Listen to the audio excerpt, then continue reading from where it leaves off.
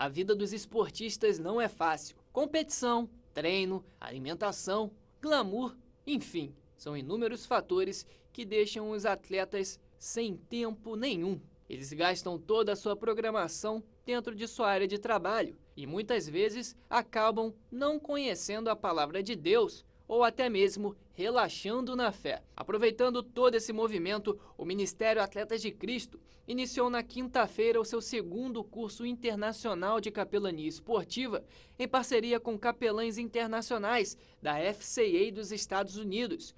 Os temas ministrados no curso são alcance, discipulado e pastoreio de esportistas. A FCA é uma das organizações pioneiras em ministério esportivo e o trabalho que eles fazem de capelania é um trabalho de excelência. Então, os alunos, é, a, penso eu, já têm percebido que eles tinham uma expectativa e quando eles chegaram aqui, começaram já a ver as aulas, essa expectativa ela foi totalmente, é, foi muito além. Frank e Lovian foram os responsáveis por algumas das aulas que já aconteceram no evento. Acabei de abordar sobre o alcance dos atletas paralímpicos, dos atletas deficientes, que nós costumamos dizer que são eficientes. Então nós falamos sobre o alcance, o discipulado e o pastoreio, como é, é importante alcançá-los discipulá-los e pastoreá-los. Vamos falar também sobre as mulheres no esporte, novidade deste ano.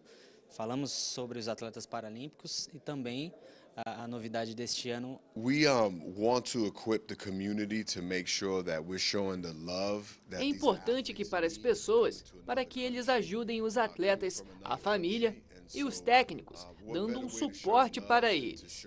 Nós também orientamos as pessoas para as Olimpíadas para servir em primeiro lugar nas comunidades. E devemos demonstrar o amor sempre às pessoas.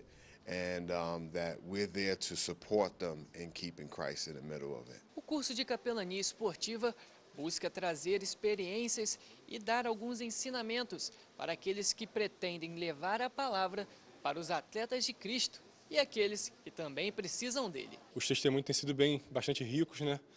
É, tendo esse suporte de experiência dos norte-americanos aí que já tem essa desenvolvimento de ministério esportivo por muito tempo. Estou aprendendo muita coisa aqui, meu coração enche de alegria de, de ver cada história, cada testemunho. O curso vai até domingo e para você que se interessou, pode aproveitar a conferência que ocorre na Assembleia de Deus de Jacarepaguá, sábado às 7 horas da noite. Para mais detalhes, visite o site atletasdecristo.org.